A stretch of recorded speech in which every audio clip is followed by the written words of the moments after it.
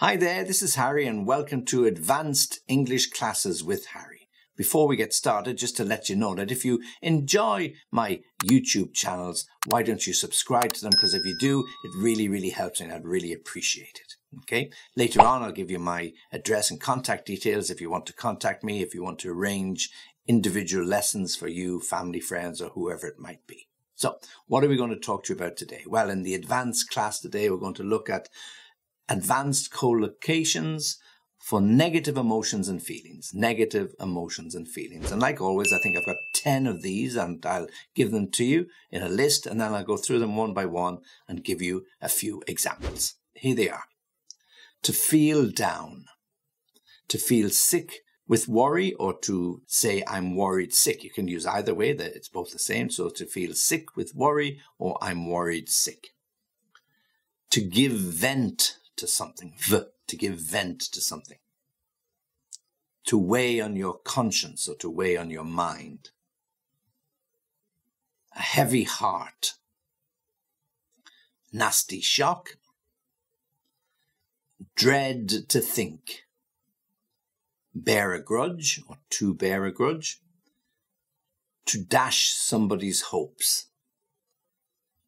And then finally, to bottle up your feelings. Okay, so all of those quite negative in their, the way they express feelings. So let's go through them and give you some examples. To feel down. Well, we can all feel down from time to time. And literally, when we feel down or, mm, or lips drop at the edge, or chin drops, or eyes droop. So we feel down. We feel that we're lacking energy. We feel depressed. We feel upset. All of those negative emotions. Yeah.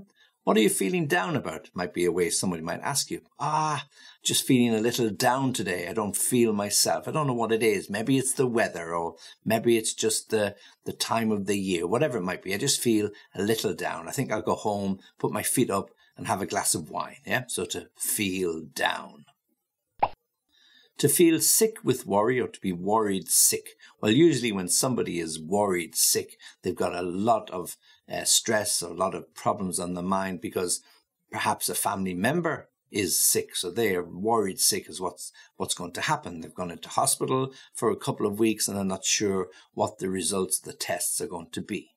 Or, oh, my daughter, she's worried sick about the exams that just around the corner. They're going to happen in a few weeks. And if she doesn't get the point she wants, God, I don't know what we're going to do. So she's worried sick and I'm sick with worry. So we're all under a little bit of strain and all feeling the stress.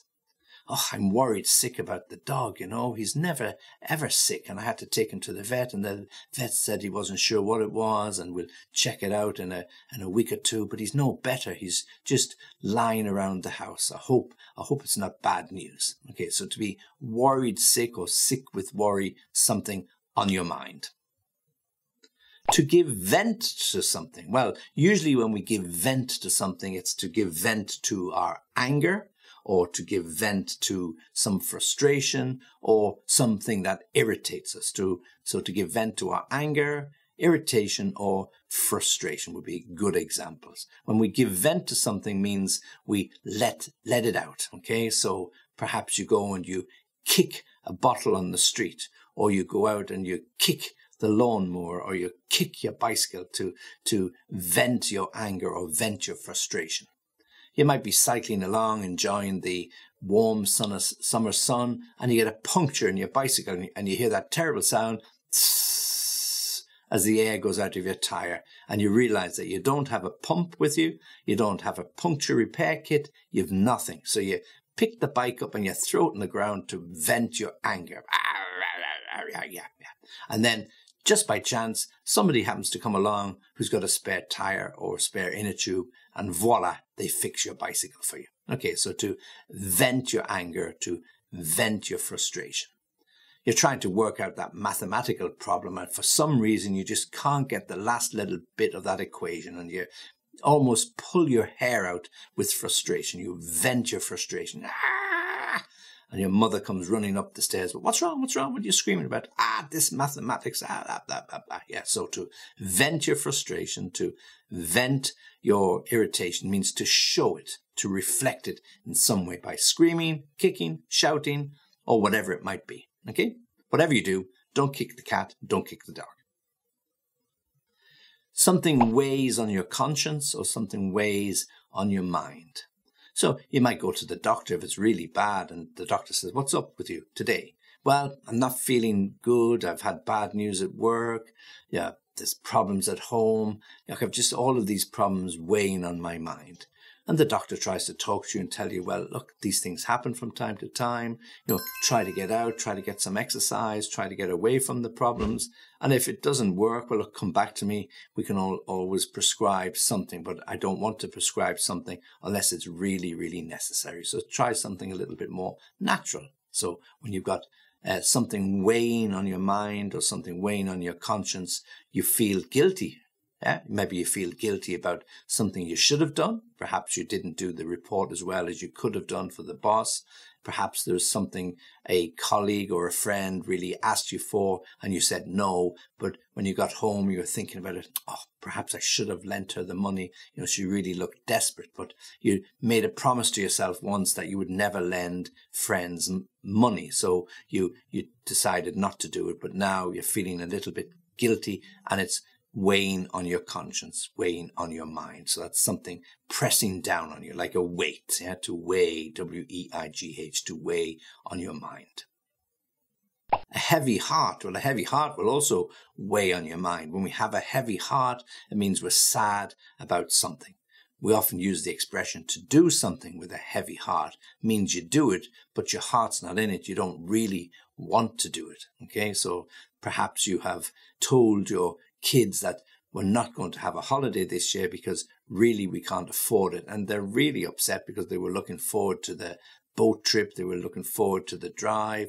They were looking forward to doing the camping trip. But for some reason, we don't have the money and you can't go. So it's with a heavy heart that you call the kids together and say, guys, look, I have to tell you that we have to cancel the holiday this year. We just can't go. And of course, there's wailing and gnashing of teeth and screaming that, oh, you've ruined the summer, blah. Yeah, everybody's a little bit upset. So you do it with a heavy heart. You do it without wanting to do it. It's just one of those things.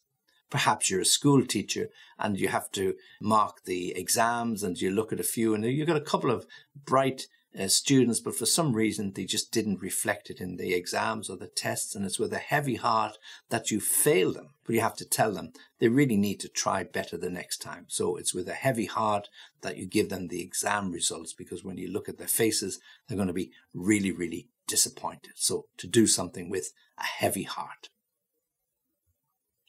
A nasty shock. Well, a nasty shock can be literally if you stick your finger in the socket on the wall, you'll get a nasty shock. Yep. Okay. But a nasty shock is something that's bad news. Oh, I got a nasty shock when I opened the bill. The electricity's gone up by 60%. 60%. Can you believe it? Wow. I don't know what I'm going to tell Bill when he comes home. Yeah. So it's a real, real shock, a nasty shock. We got a nasty shock when I opened the letter and found out that I'd been caught speeding a few weeks ago. Afterwards, that Sunday morning, I was nice and relaxed, just driving along on the motorway, you know, the music on, no traffic in front of me. I didn't even see the speed camera, and I don't even think I saw the, the police car. And of course, I opened the letter this morning. Yeah, got a fine of 70 euro. Could you believe it? 70 euro. That's another nasty shock. Or when you get the vet's bill, you've taken the dog to the vet for the second or third time in the last couple of months. And when the bill comes in, you go, oh my God, these vets, they can really, really charge a lot of money. So another nasty shock. Okay, so nasty shock, bad news, something you weren't expecting, something you didn't want to happen. And yeah, when you open that envelope or you open that email, there it is staring you in the face. A very expensive invoice dread to think about something. Yeah. Now, and we use this expression quite a lot. Oh, I dread to think what the world's going to be like next year when we have all these food shortages. What are the, what's going to be the prices of everything? Will we be able to get flour? Will we be able to get ordinary things like pasta, even toilet rolls. Okay. Remember during the pandemic, yeah, you couldn't get toilet rolls in the first couple of weeks for love nor money. Yeah. So I dread to think, meaning I don't want to think about it. I dread to think what life would be like without mobile phones. How would we contact everybody? How would we send messages? We'd have to go back to the old way of ringing up on those landlines or, or even walking around. Oh my God, think of that. We'd have to get on a bus and go and see somebody. So I dread to think what life would be like without technology. I dread to think what life would be like or what my life would be like without a mobile phone. Okay. And me as a teacher, I would dread to think what life would be like without online lessons. I'd have to get in my car. I'd have to waste hour after hour going to and back from classes. So to dread to think, or I dread to think what might happen, a negative view, a negative feeling. To bear a grudge. Well, we all have borne a grudge from time to time. So if you bear a grudge, it's a bad feeling or an ill feeling you hold against somebody because of something they said or something they did or something they didn't do a long time ago. It could be days, weeks, months, years. Somebody or some people bear grudges for a long, long time. There can be family grudges, of course. There's families always have rows and some brother bears a grudge against another one and it passes on through the generations. And somebody might ask, what's all that about? Why don't they talk to each other anymore? Or he bears a grudge because he went out with his girlfriend and they eventually got married. So it could be something to do with love. Often is to bear a grudge. Often the reason has been long forgotten about, but the grudge is still there. And if you ask the people to explain what, what is all this about, nobody could explain it to you. So to bear a grudge is when you hold something against somebody, something they did do, something they did say, or something they didn't do, and to bear a grudge for a long, long time. Businesses in competition with each other. The, the managing partners or the CEOs might bear a grudge against the other because they've got a better position in the marketplace. It could be for many, many simple reasons to bear a grudge. To dash somebody's hopes dash is a wonderful word to you can dash means to rush somewhere or dash means to break something to dash the glass against the wall to the ship dashed against the rocks and broke into many many pieces. So when we dash someone's hopes we break them we smash them yeah we destroy them so if you get bad results in your exams, it dashes your hopes of getting into that university that you wanted to go to, and you'll have to settle for the other university. Your team lost in the semi finals of the Cup, so dashed your hopes of being able to go and watch them in the big stadium. Or it they dashed the hopes of bringing glory to the team for yet another season. Okay, so to dash your hopes. When you were walking down the street, you you saw the boy who you fancied walking out with another girl, and that dashed your hopes about ever getting together with him. Okay, so when you dash someone's hopes, it means they are over, they have ended, and they'll have to start again to dash your hopes. To bottle up your feelings. When we bottle something up, when we put it in a bottle and we stick a cork in the top of the bottle, so you literally bottle it up. When we bottle up our feelings, it means we don't let them out or we try not to let them out. And like every bottle with a cork in it, eventually it will pop. Yeah. Okay. So you have to be really, really careful and you have to be very careful. You don't shake it because it will explode. But if you bottle up your feelings, you don't let people know how you feel and you sit there, steam coming out your ears, mm, when you really should be telling somebody exactly how you feel. So we often hear the expression, don't bottle it up. Don't bottle up your feelings. You'll feel worse. It'll make you feel sick. So let it out. Go outside and scream.